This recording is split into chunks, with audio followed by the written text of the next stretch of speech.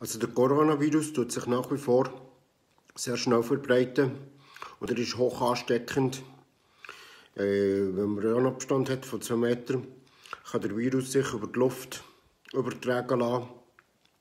Und man ist angesteckt, obwohl als man nur mit einer Person geredet hat.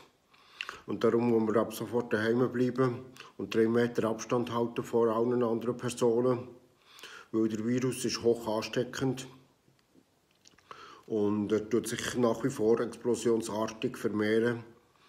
Und vor allem für die älteren Personen ist es ein grosses Risiko, dass sie nachher plötzlich daran sterben, weil sie vorbelastet sind mit anderen Krankheiten.